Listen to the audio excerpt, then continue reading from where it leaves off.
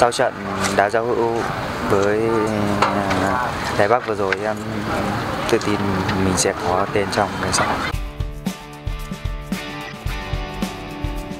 À, những đối thủ của sắp tới của chúng ta là Thái Lan và Indo đều rất khỏe, nhưng mà em nghĩ đội mình sẽ cố gắng làm nào để chiến đấu hết sức.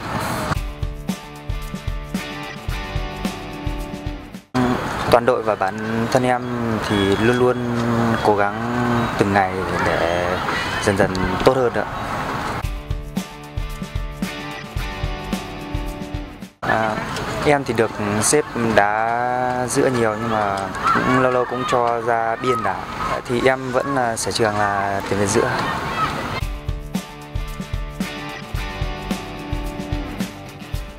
Dạ, bản thân em và đồng đội rất sẵn sàng cho giải đấu sắp tới và rất tự tin. Em và toàn đội sẽ cố gắng làm thế nào để đá thật tốt và giành chiến thắng cho người hâm mộ.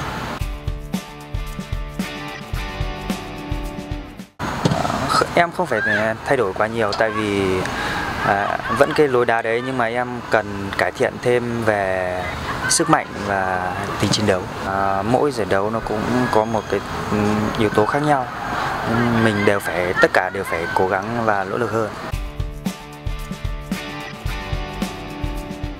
À, mục tiêu lớn nhất của em giải này và là được đá được đá chính và cố gắng giành chiến thắng trong cả ba trận đấu. Cảm ơn các bạn đã theo dõi.